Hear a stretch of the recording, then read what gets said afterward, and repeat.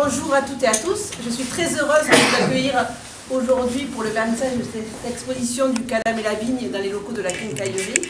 Euh, je suis ravie de vous voir aussi euh, nombreux et nombreuses aujourd'hui. Euh, voilà, ça montre aussi l'attachement que vous avez pour le Calam et la Vigne. Donc j'en profite pour remercier Olivier et l'ensemble des membres du Calam et la Vigne. Il y en a un petit peu partout. Oui, il y en a un petit peu partout. Pour euh, ce qu'ils nous font découvrir, c'est vrai que moi j'ai appris à connaître au fur et à mesure euh, les, différentes techniques, les eaux fortes. Voilà, donc j'ai eu l'occasion de venir de vous voir régulièrement. hein. et euh, c'est très important de transmettre ces techniques et surtout de les transmettre aux enfants, aux enfants et aux collégiens. Donc je vois qu'il y a Mathilde, la directrice de l'école Jules Ferry. C'est vrai que vous êtes situé à proximité immédiate de l'école. C'est un réel atout. Et que les enfants puissent découvrir ces techniques-là, que ce soit à l'école ou au collège, c'est un réel euh, avantage. Et c'est que du positif pour, euh, pour ces enfants.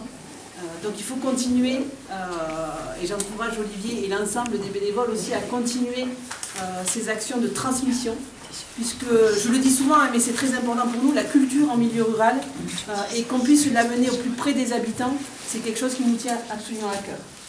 Donc je vous remercie, euh, l'ensemble des membres du Calam et la Vigne, pour tout ce que vous faites sur notre territoire, euh, sur le territoire du Nocélois.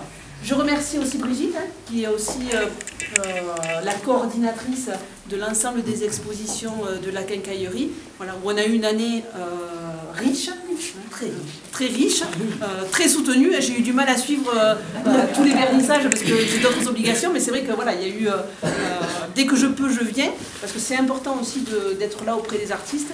Mais voilà, donc euh, une année très dense et très riche. Merci Brigitte pour, euh, pour tout ce que tu fais. Merci à André aussi qui communique hein, euh, beaucoup sur, sur les différentes expositions. Voilà, et un grand merci à vous tous d'être présents aujourd'hui et de continuer à suivre voilà, les, les différentes expositions sur notre commune. Voilà. Donc je laisserai après la parole à Brigitte qui vous a préparé un petit mot qui est toujours... voilà, donc, euh, voilà. Merci beaucoup à vous tous en tous les cas d'être présents aujourd'hui à nos côtés. Merci.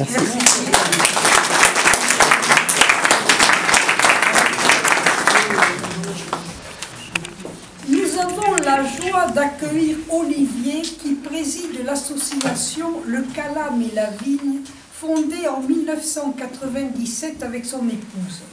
Le titre de l'expo Pêle-mêle nous renvoie à son étymologie, mes-mes en ancien français, désordre vrac.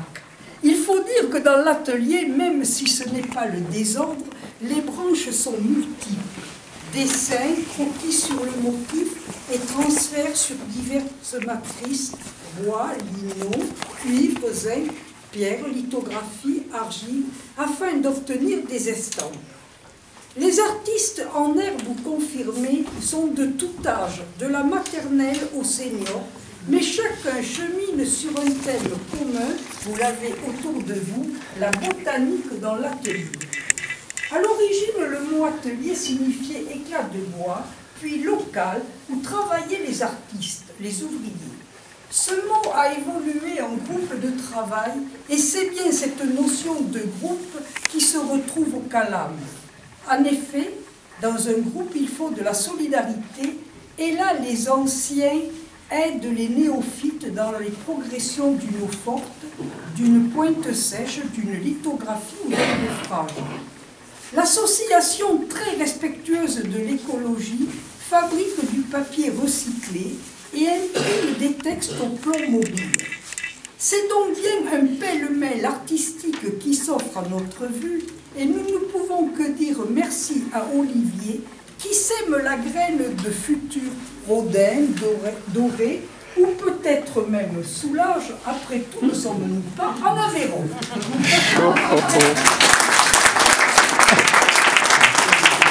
D'abord, merci Ouais. À Madame le maire, à Karine ainsi qu'à Brigitte pour les propos chaleureux qui viennent d'être tenus, qui nous vont droit au cœur, bien sûr, et très, très encourageants. Et donc, alors, ben, je ne serai pas seul à parler parce que, bon, à vrai dire, le CALAM est présidé par plusieurs personnes. On a choisi l'horizontalité de. Voilà, et les vice-présidents. Voilà. Nous sommes sept vices. Voilà, sept- vices. Péché, la gourmandise. sept vice-présidents. Donc, euh, donc, nous avons choisi cette, euh, cette formule-là. euh, voilà. Donc, euh, moi, je me bornerai à évoquer simplement, puisque ça a été dit, euh, nous fêtons notre 27e anniversaire et je me réjouis de la présence euh, de nos de deux anciennes, euh, Hélène et, et Carmen, euh, dont nous avons qui a, qui a signé même le, le seul livre euh, que nous ayons jamais euh, fabriqué. avant. Voilà, donc euh, beaucoup de doigts pa- passés sous l'éponge, beaucoup de, de visages amis. euh, Martine qui nous a mis le pied à l'étrier en eau forte. Euh, voilà, et puis des, des gens plus, plus récents et qui travaillent toujours dans cette, euh, cette veine, qui a fait du d'abord un atelier pédagogique pour les plus jeunes, hein, la transmission. Alors bon, cette expo relate un peu toutes ces étapes là-bas, c'est le, point, des jeunes, quand même. Euh, voilà, les, différentes techniques, naturellement, des gens euh, qui sont arrivés plus, récemment. La part typographique aussi, le texte est extrêmement présent, puisque écrire et dessiner sont des, activités très voisines. Et imprimer, c'est démultiplier la force d'un dessin ou d'un texte. Tout ça, ben, ça, ça réunit. Voilà, que dire de plus? Il y a des, quelques livres, une petite presse, euh, des croquis aussi, hein, puisque le moindre, le, moindre petit travail prend sens et peut devenir eh bien, matière à cheminement dans l'atelier. Je me réjouis aussi euh, bien sûr du travail que la dernière expo c'était avec les enfants de l'école Jules Ferry. Et bon, ça a été un, un très très bon moment également de, de rencontre avec les enfants, mais j'en trop bavard. hein. Je laisse la parole à mes collègues. Mais on peut dire qu'on a travaillé aussi avec l'association de Montréal. Oui, bah, vas-y. Voilà. Euh, avec Françoise, le nom d'assaut, je me souviens. Mal. Ah, les, les ateliers de la Marie. Voilà, et ils ont fait une expo là, il y a la semaine dernière, où on a participé, tout l'atelier a participé. Voilà.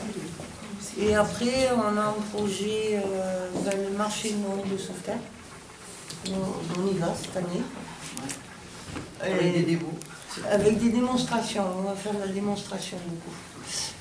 Et qu'est-ce qu'on a fait On a fait, on a participé à la création d'un livre papier avec euh, la culture. Le département. Le département.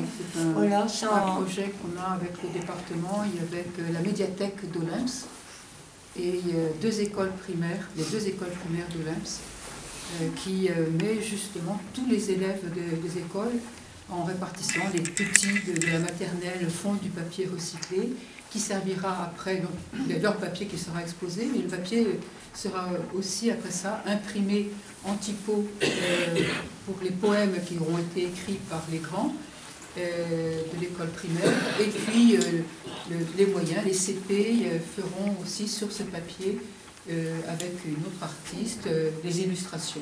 Tout cela sera monté dans un livre d'artistes de chaque école. Euh, oui, une graphiste qui participe. En fait. Eve, Eve Maillot, Chaque qui, côté. va, euh, qui, euh, qui fait la partie illustration. Là, là, nous agissons vraiment en tant que Calam. Nous sommes en collégial, nous intervenons à plusieurs. C'est vraiment l'esprit de, cet atelier pédagogique. On aimerait peut-être un petit appel, que ça a entendu peut-être comme ça, par conversation, on pourra faire passer un message. On aimerait pouvoir euh, reprendre d'une manière beaucoup plus régulière la relation avec les élèves du collège.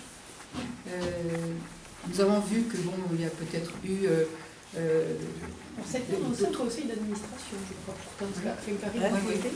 Oui, oui.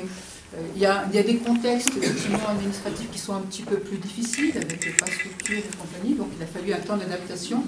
Mais nous sommes vraiment euh, impatients de retrouver euh, cette tranche d'âge euh, dans l'atelier et d'une manière régulière. Parce que nous pensons qu'effectivement pour les, pour les élèves, c'est non seulement un apprentissage, mais c'est une manière de- d'appréhender des choses totalement différentes et très valorisantes.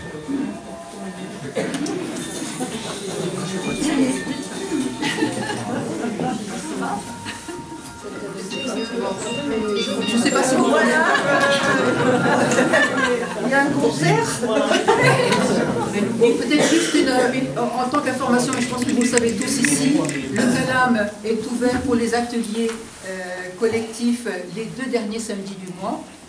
Euh, où il y a, bon, en particulier Barbara euh, anime tout un atelier le, samedi matin et permet après ça, c'est ça, tu peux en parler un peu. Euh, il y a après ça la possibilité de travailler en autonomie. Donc il y a en fonction de ceux qui, celles qui veulent venir autrement que les samedis, mais en, complètement en autonomie. Mais peut-être je vais passer la, parole à Barbara pour expliquer un peu ce qu'elle fait. Tout, ce panneau-là et le résultat du travail de cet atelier. Euh, oui, alors euh, tout d'abord, on a.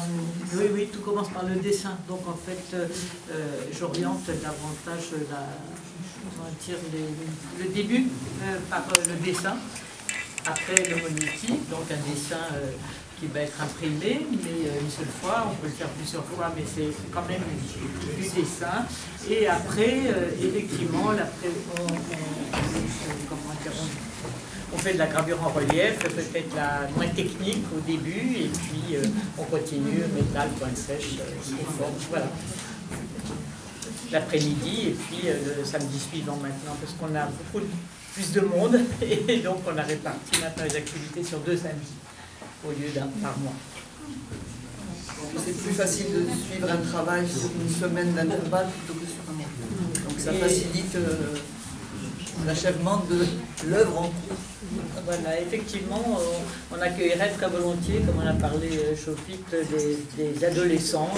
J'avais travaillé quelques années, comme que ça a duré longtemps, euh, cette collaboration. avec Olivier, c'est quelque chose qui est très intéressant pour nous, pour l'atelier, pour eux surtout. Voilà, et les enseignants. Voilà. Merci pour votre présence. 감사합니다.